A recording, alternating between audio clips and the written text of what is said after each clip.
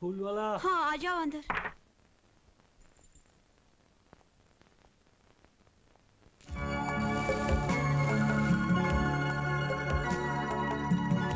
तुम? ये कलकत्ता की पुलिस है ना? अजीब है। आप उनको स्टेज पे आने नहीं दिया? और ये हार? और ये हार आपके गले में डालना रह गया। इसलिए आपको डिस्टर्ब किया।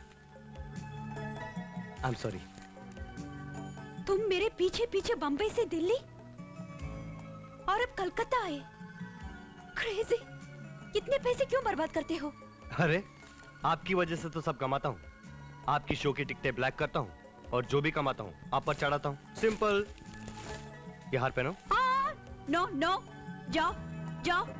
गो। आई से गो पागल मत बनो। जाओ। जाओ।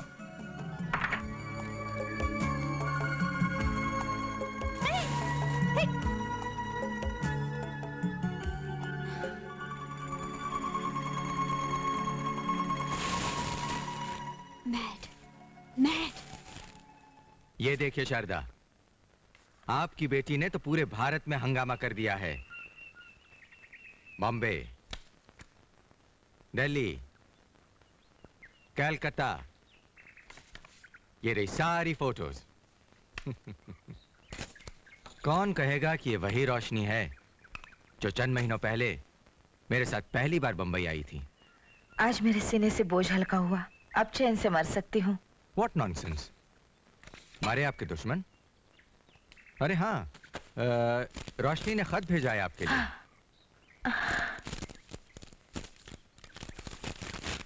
माँ, कैसी हो? मुझे तुम्हारी फ़िक्र हमेशा रहती है। तुमसे मिलने को बहुत दिल चाहता है, पर यहाँ बॉम्बे में वक्त ही नहीं मिलता।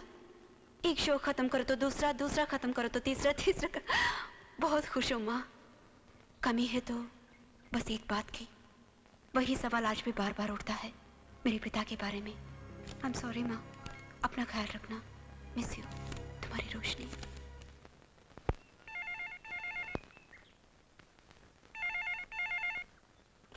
हेलो सितारों से आगे जहाँ और भी हैं अभी इश्क के इम्तहान और भी हैं। मुबारक हो सुपरस्टार। हाय राहुल कहाँ से बोल रहे हो? अब तक तो अमेरिका में फंसा हुआ हूँ। यकीन करो तुम्हारे गाने यहाँ सुपर हिट हो गए हैं। You are an international star now जानती हो? जब से यहाँ लोगों को पता चला कि मैं तुम्हें जानता हूँ शोज़ के बहुत ऑफ़र आने लगे हैं। अच्छा दैट्स ग्रेट क्या कहूँ उनसे? कह दो जो तुम ठीक समझो। मैंने तो उन्हें हाँ कह दिया है। बहुत यकीन है तुम्हें अपने आप पर? मुझे तुम पर यकीन है। Looking forward to seeing you Roshni me too bye bye bye क्या बात है भाई? बड़े इश्क फरमाया जा रहा है आजकल। इंटरनेशनल कॉल पे बहुत पैसा खर्च कर रहे हो। शर्मा मैं कभी भी किसी चीज़ पर बिना मतलब के पैसे और वक्त बर्बाद नहीं करता। ये तो एक इन्वेस्टमेंट है। कुछ पाने के लिए कुछ तो लगाना ही पड़ता है ना? मैडम आपका शो कैसा रहा? बहुत ही पसंद किया लोगों ने। Excuse me madam. Yes thank you madam इतने कम समय में इतनी कामयाबी क्या आप इसका राज बता सकती हैं? Yes uh, yes. मेरी कामयाबी के लिए जिम्मेदार वो लोग हैं जो मुझे चाहते हैं। मिस रोशनी आप मिस से मिसेस कब बनने जा रही हैं? मेरा मतलब है शादी के बारे में क्या ख्याल है आपका? आ, मैंने अभी तक हाँ हाँ कहिए। मैंने अभी तक शादी के बारे में कुछ सोचा नहीं। मैं बताता हूँ। जैसे इन्हें कोई अच्छा लड़का मिल जाएगा ये शादी कर लेंगी। सिंपल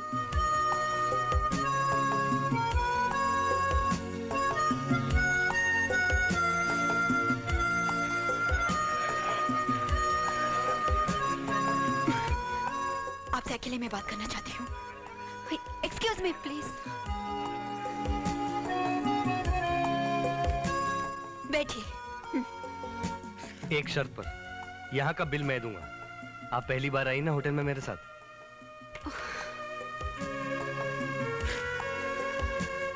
आप मेरा पीछा क्यों करते हैं? मैं आपसे आपसे प्यार करता हूँ। क्या क्या कहा आपने? प्यार इश्क, मोहब्बत लव मैं और मैं आपसे शादी करना चाहता हूँ। अरे सुनिए, मैं जानता हूँ मैडम आप क्या कहने वाली हैं। कि हम एक दूसरे को जानते तक नहीं तो शादी कैसे हो सकती है? लेकिन हमारे हिंदुस्तान में नब्बे परसेंट लोगों की शादी ऐसी ही होती है। पहले शादी होती है फिर एक दूसरे को जानते हैं फिर प्यार होता है। मैं जानता हूँ ये तरीका पुराना है मैडम पर मुझे पसंद है। शट आइंदा तुमने मेरा पीछा किया तो मैं तुम्हें मार डालूँगी। अरे मेरी बात तो सुनिए। मैडम मैडम सोच लीजिए। मेरे जैसा आशिक आपको नहीं मिलेगा। प्रॉमिस सोच लिया। डोंट फॉलो मी इतनी आसानी से पीछा नहीं छोड़ूँगा मैं। आशिक हूँ और वो भी आपका। सुन लीजिए।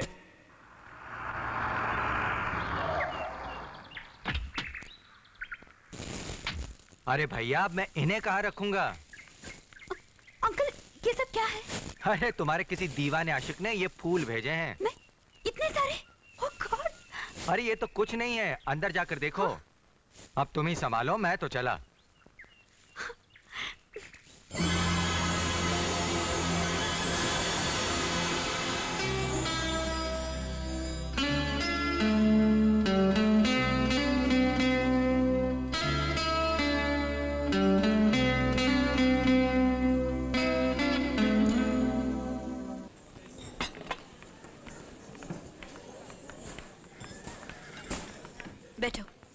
एक शर्त पर। यहाँ का बिल मैं दूँगा। Shut up and sit down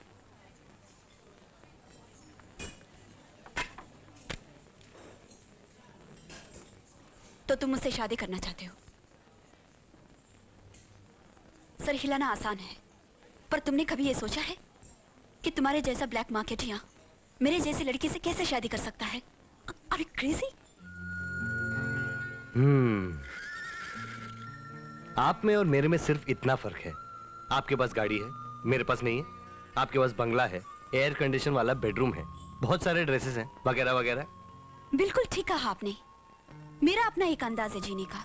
एक एक लाइफस्टाइल है और मुझे इन चीज़ों की आदत हो चुकी है। मतलब ये मामूली चीज़ें रोक रही हैं आपको मुझसे शादी करने से? चलिए उन सब चीज़ों की लिस्ट बनाते हैं जिनके बगैर आप जी नहीं सकती। गाड़ी ड्राइवर के साथ बंगला गार्डन के साथ नौकर चाकर वर्दी के साथ एक बेडरूम चाहिए एयर कंडीशन के साथ कपड़े चाहिए गहनों के साथ और एक पति चाहिए प्यार के साथ। यानी कि मैं और कुछ? जी नहीं नॉट एट ऑल इतना ही काफ़ी है। वैसे भी जो लिस्ट आपने बनाई है उतना कमाते कमाते आपको सौ जन्म लग जाएँगे। देखते हैं कितना टाइम लगता है मैडम लेकिन मेरा एक चैलेंज है कि जब तक मुझे ये सब चीज़ें मिल नहीं जाती मैं आपसे नहीं मिलूँगा।